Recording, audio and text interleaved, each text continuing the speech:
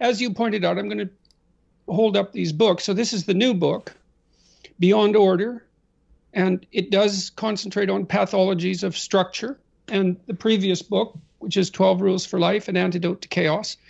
And the the underlying presupposition there is that in our phenomenological landscape, so that's the world as we experience it, complete with emotions and motivations and dreams. And so the full range of human experience, including the subjective and the objective, let's say, can broadly be broken into two domains. And one is the domain of things that are beyond our grasp and reach, and that's the unknown.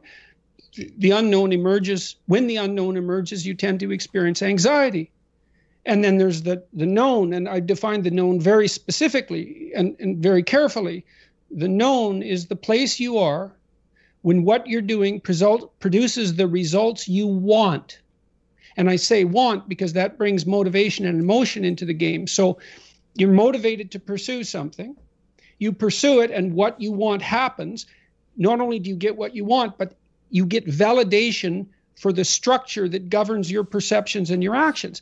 Now, if you, you know, imagine that you're, um, you know, you're lonely, and you approach a young woman in a in a social situation, um, attempting to make some contact with her, um, you you want to alleviate your loneliness, and so you hope you make a good impression, and you tell a joke, let's say, in a relatively awkward manner, and you get rebuffed, then you feel you you you, you're no longer where you control. You're no longer where you exercise control. And that brings up all sorts of specters in, immediately. It's like, well, why were you rebuffed? Well, maybe all women are uh, to be despised. That's one theory. Maybe there's something deeply wrong with you. Maybe you're having an off day. Maybe it wasn't a very good joke.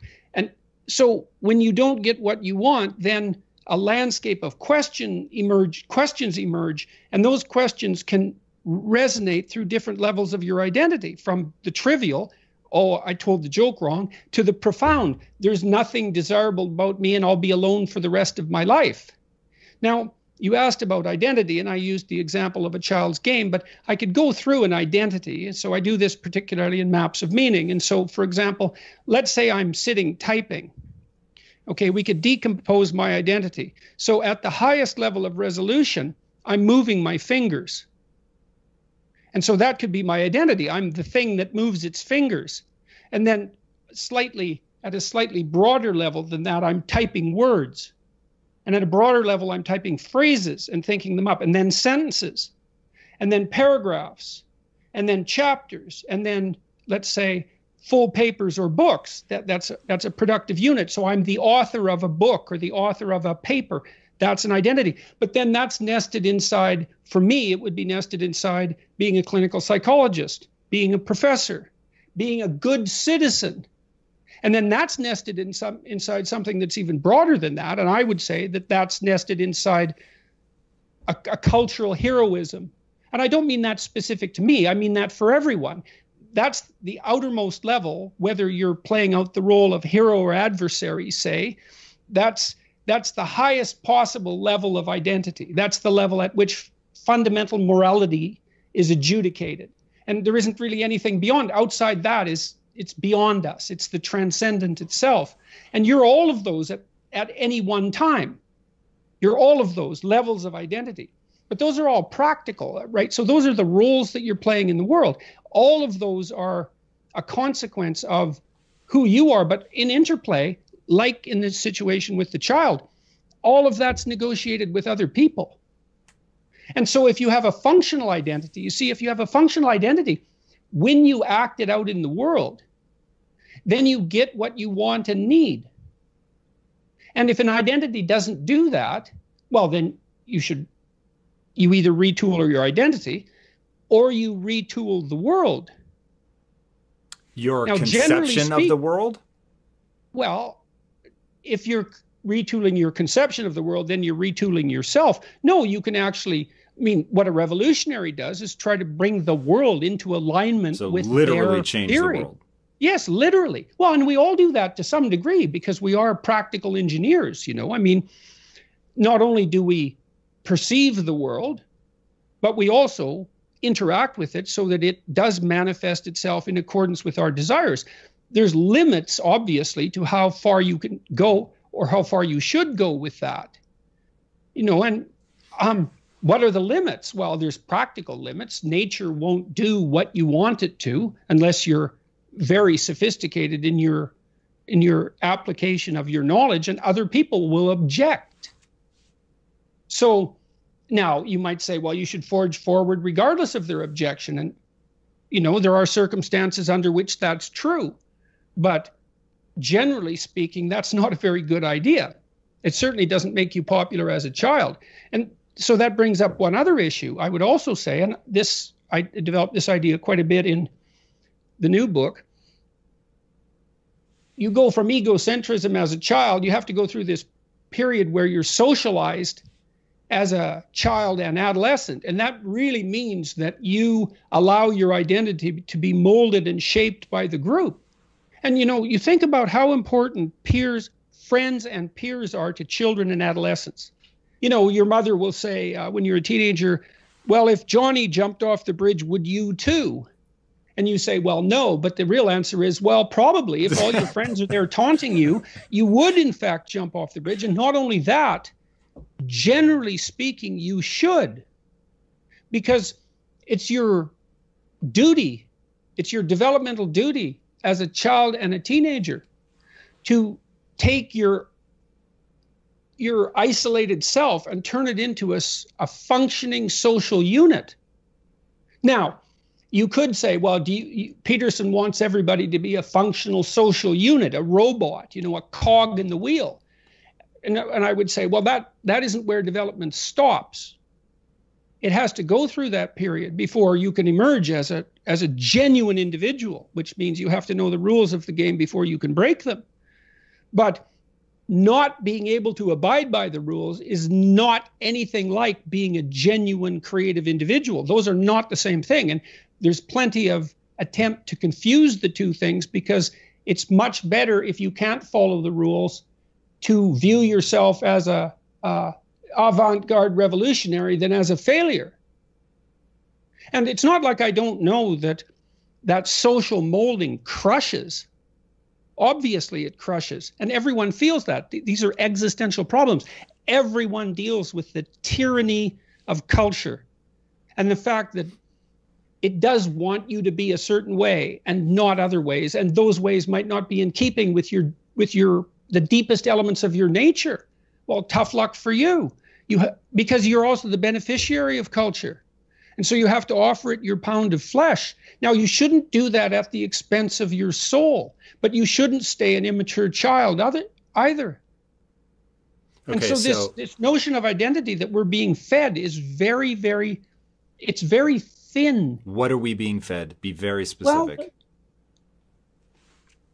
Well, well, there is the idea, for example, that your identity is whatever you say it is and that everyone else has to go along with that. No, that isn't how it works, partly because no one even knows how to go along with it. Like, let's say, just for example, that you're uh, gender non binary. Okay, what am I supposed to do about that?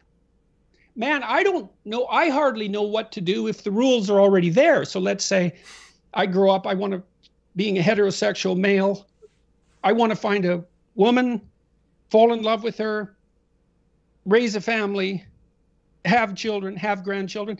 That's a game. I know the rules to it, not well, because everyone's a failure at that. You know, it's very difficult, but at least you kind of know what the, the goal is, and so does the person you're with. Well, you leap out of that, which is already terribly difficult. You leap out of that into completely unknown territory, saying um, uh, that I'm presenting yourself as something other than those categories leaves everyone around you and you completely bereft of direction.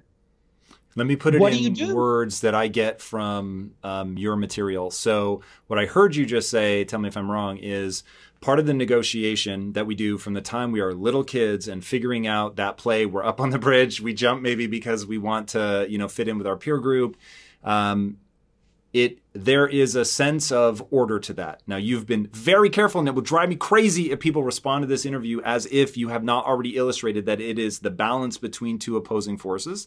But so we need enough order so that somebody can find their way through the world and that many I think a big part of the reason that your work has resonated so profoundly with people is they're excuse me, they are left in a world where they don't know how to move forward in a way that serves them spiritually, practically as well, for sure. And so, well, hey, everybody. Both of those, both of those practically shades into spiritually as you move up into the broader reaches of identity.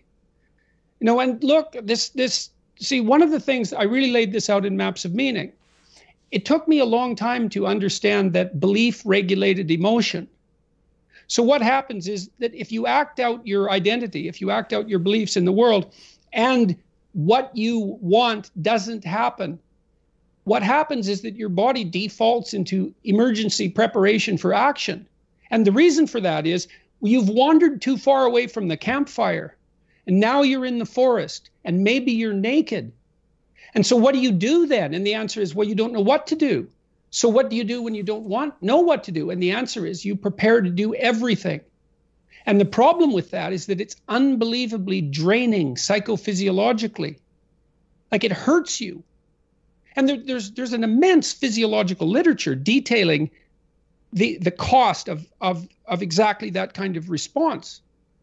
And so people need people and animals, they people stay where what they do has the results they want. That's partly why you want to be around people who share your cultural presuppositions, is because you know that, for example, even in small ways, let's say you're a country music aficionado and you're hanging around with your cowboy hatted buddies and you throw on a tape and everyone says, Great tunes, man. And you, you know, you're happy about that. But, you know, you throw on a piece by Tchaikovsky and you're you're in a different subculture and who the hell are you? And people the people in your group will say man who listens to music like that? And like that's a trivial example in some sense but I, I believe it's one that everyone can resonate to. We like we it's very hard on us not to be where we know what we know that what we want is going to happen. We hate that. We hate that and no wonder so, and then, you know, there are there are varying degrees of that, obviously. You can really be where you don't know what's going to happen, or you can only be there to some degree. But by and large, by and large, we're conservative creatures, even if we're liberal in temperament. There's not, we can't tolerate that much uncertainty. And there, you might ask, well, why? And the answer is, well, because you can be hurt pain, you can be damaged, you can become intolerably anxious, and you can die. So it's no wonder you're sensitive. We're very sensitive to negative emotion. And so our identities, rate, functional identity regulates your emotion. Why Beyond Order? What is the genesis of that title? How did you arrive at that title? As far as I can tell, in the world of value, So let's think about value for a minute. If you move towards something, you value it. Otherwise, you wouldn't move towards it. You, there's an old joke about the chicken is why did the chicken cross the road? And the answer to that is, well, he thought the other side was better. well, that's that's the case, you know. And in order we need a gradient of value to organize our action and you have to prioritize because you can't do everything at once. And so you do the thing that's most important right now now. And that means you're in a world of importance. And that's a value that that's a value world. And the value world as far as i can tell has two broad components. The taoists talked about it as yin and yang. And broadly speaking it's order and chaos. And order tends to be represented with masculine symbols and chaos tends to be represented for feminine with feminine symbols. That doesn't mean order is male and chaos is female. And, you know, I've been pilloried for this, even though it's hardly my proposition. But the, the idea of the patriarchy is a symbolic It's a, it's a use of masculine symbolism to represent order. So, anyways, order is where what happens, order is, you're in order when what you want to happen happens when you act and so that's reassuring because not only do you get what you want, but the fact that you get what you want indicates that your theory about how to get what you want is true.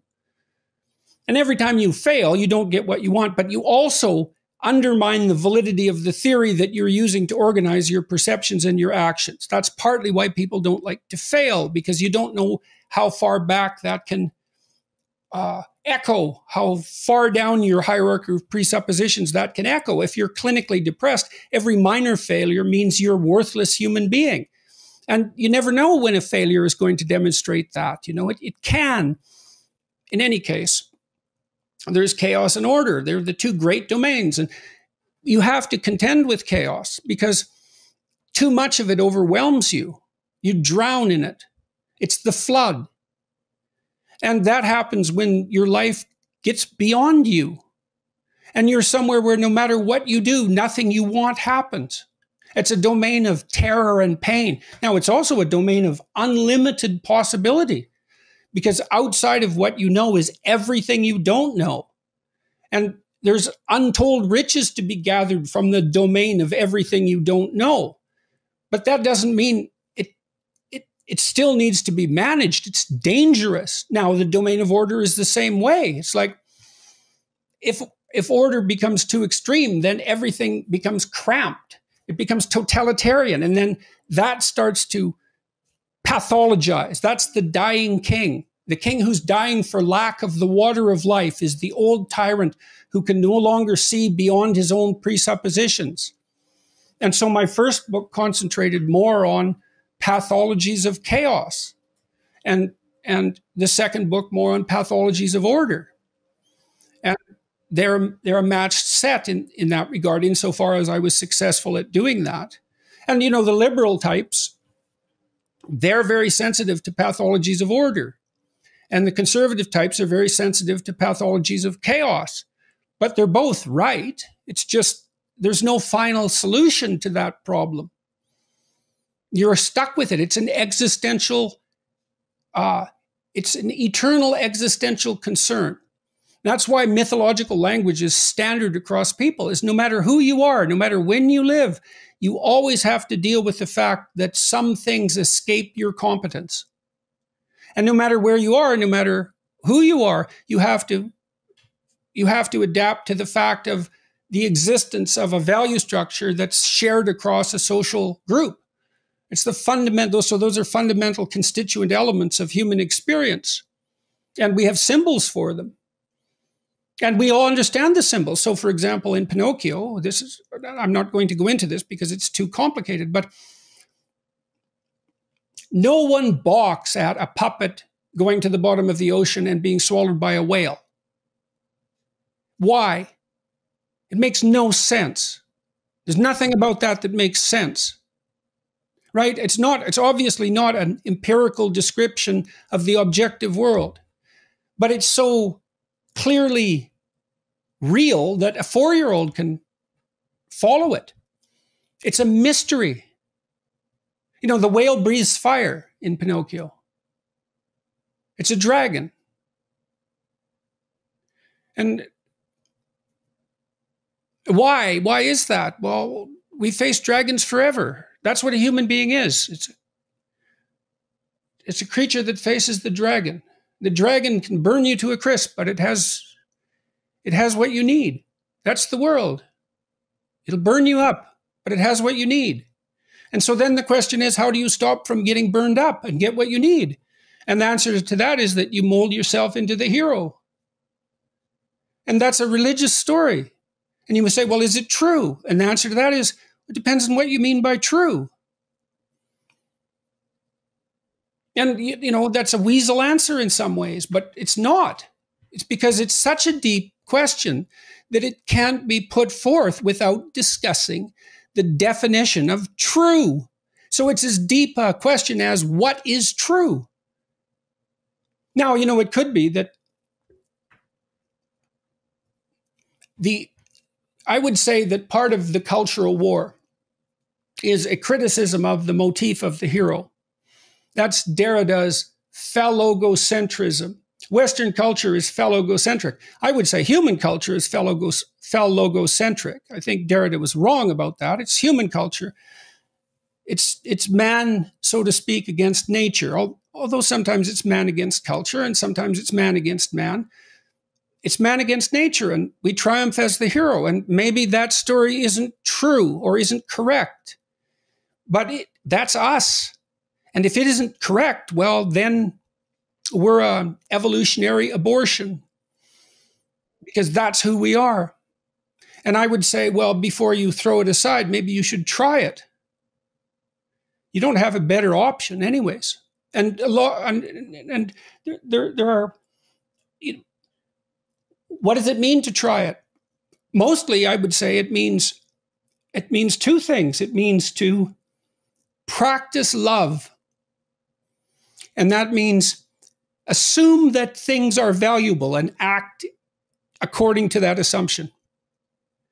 And it requires truth, which is don't say what you know to be untrue. And, you know, when I tried to unpack the first sentence of Genesis,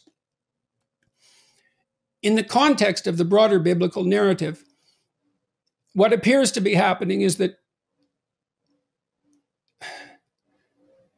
There's a proposition that God is guided by love and uses truth to create. It's something like that.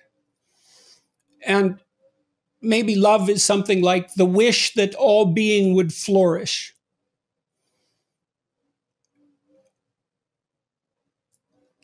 The, there isn't a better story than that.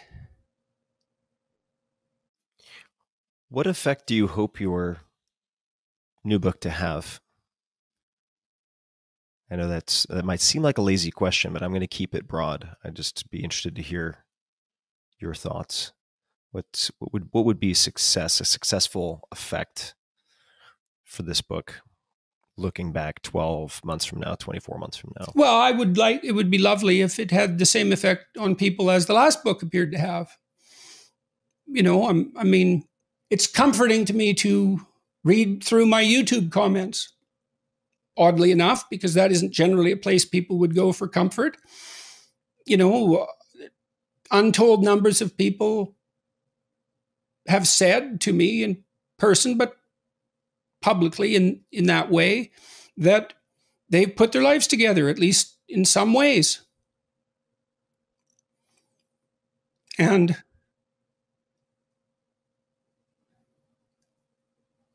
you talked about Viktor Frankl you know, when I wrote Maps of Meaning, I said, well, I was interested in malevolence. I was deeply affected by the accounts I'd read of what happened in the Second World War and in Germany and what happened in Soviet Union and in China. These horror shows that characterized the 20th century. Constrained malevolence. And so if you study malevolence, you start to understand what the opposite of that is. The opposite of malevolence is something like the hero's journey. You know, and it's it's easy to be cynical about that, but well, it's not that easy because if you're cynical about that, then you undermine your own life. And everyone knows this. This is the other thing that's so interesting. Everyone knows this. You never teach someone you love to lie.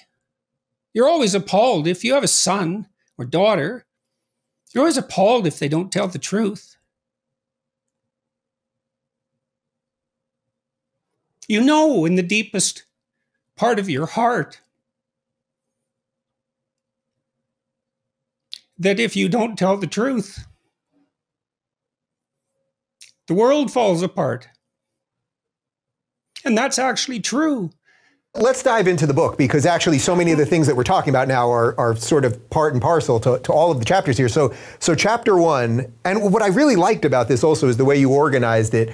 The, the, the new topics, because one of the questions we would get often in the, in the Q&A that you would get is, oh, was there a, was there a 13th rule that you couldn't get in the book? And, and you actually mentioned this in the book that you had you had what about 46 other was it 46 42 42 you had 42 yeah the same as douglas adams answer to the universe life the universe and everything 42 rules which was actually a coincidence but i thought it was comical in the aftermath but there's 42 rules so now i've written about 20 i've written essays about on 24 of them how did when you got to 42 how long did you give it before you said okay 42 is enough because i know you oh, you're pretty methodical I just did it I just did it in an afternoon, the original list of rules. I was playing on Quora.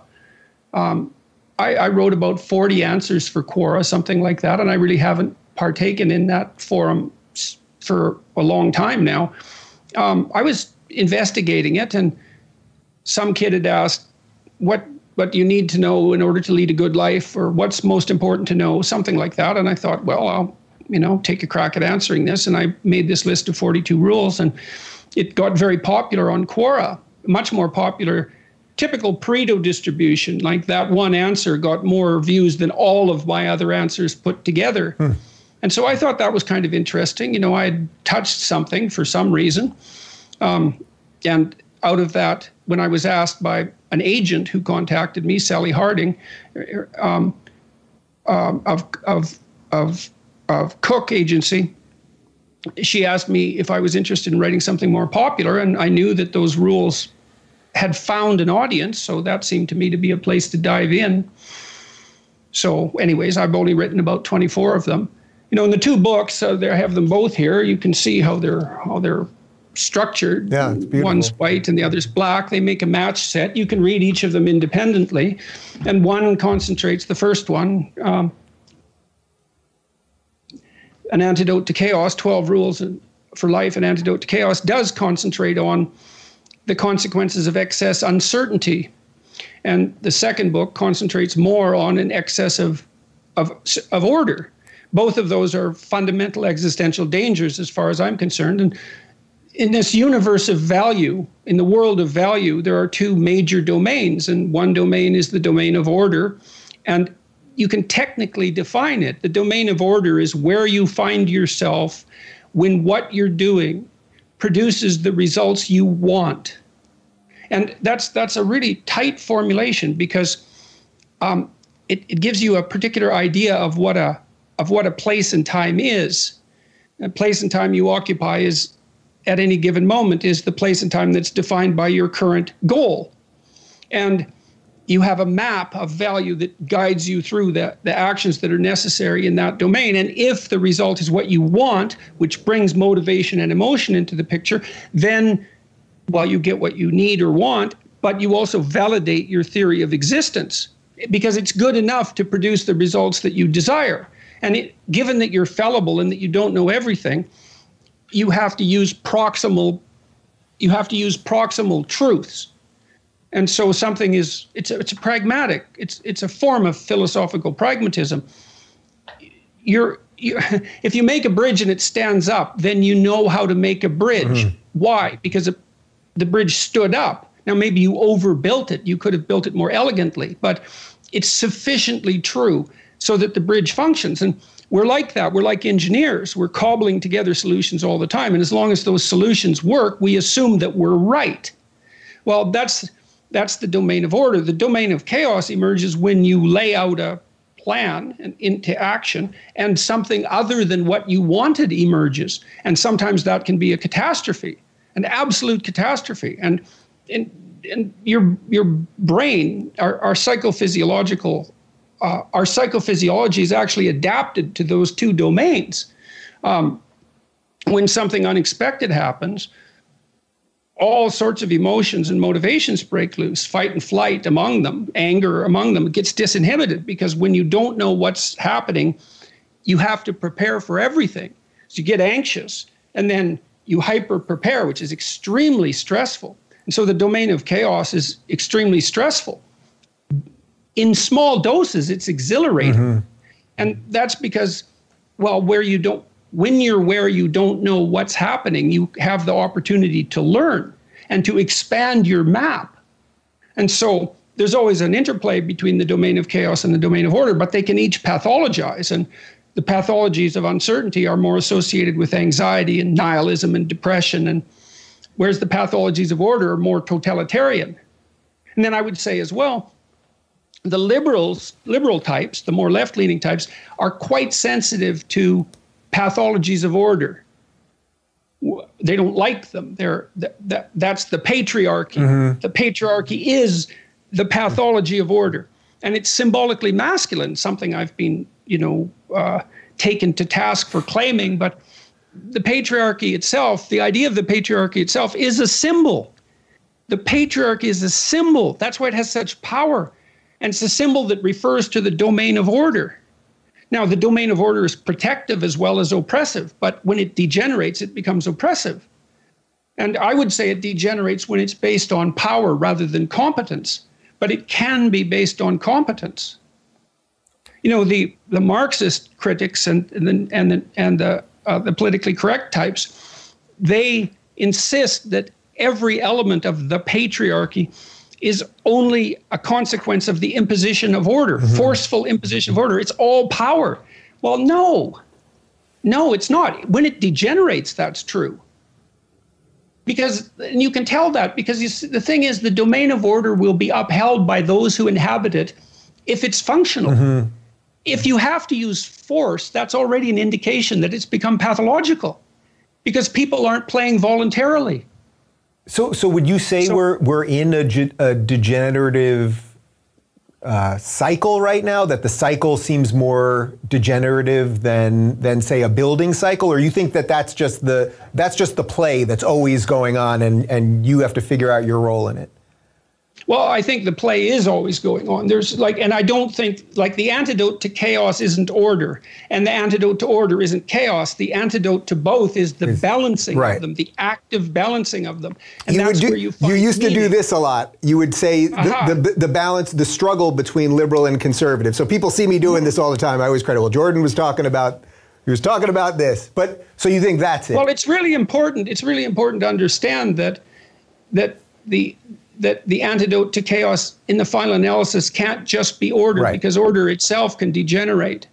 And so I believe that the antidote is active engagement with the world, honest, active engagement with the world, truth. And I think it's also truth motivated by love, which is a, a motif that runs through this second book in particular. And love is the desire for all things to flourish. You know, in, in, in, in Christ says that you should love your enemies. And that, that's an that what does that mean? And and it's really worth thinking about. It's you shouldn't wish your enemies harm in a like, and by by and I what I mean by that is that it would be better for everyone if they would conduct themselves so that they would flourish. You know, and, and that doesn't mean you shouldn't defend yourself. It doesn't mean that that soldiers aren't necessary or the police. It doesn't mean any of that. It's not a weak need statement. It mm-hmm. means that if you're if you have your if you have your if you have yourself pointed in the right direction, you don't wish an excess of harm on on the world. You want it to flourish. That's love. So you orient yourself that way. And I do believe that that requires a certain courage because the world is so flawed and so painful. There's so much suffering in it. It's very difficult to fall in love with it. You keep getting bounced off. You think this is so terrible that maybe it shouldn't even be. But that takes you down a very bad road. So it's love first, and then truth serves that. And I do think that's the motif that runs through the Old and New Testaments, that the combination of those two things. Love is the, the desire that being flourish. And, and, and I do believe that truth serves that. Well, that's a. So. No, please finish your thought. Well, I also think that people find meaning in that. And you can everyone can answer this for themselves. It's like you have to watch and you have to see where it is that you find the meaning that sustains your life. And I would say it's certainly not been my experience that people find that in deceit or hatred. I mean, they may be tempted by that, they may have their reasons for it, but everyone is ashamed of that and wishes it could be otherwise even if they don't know what to do about that.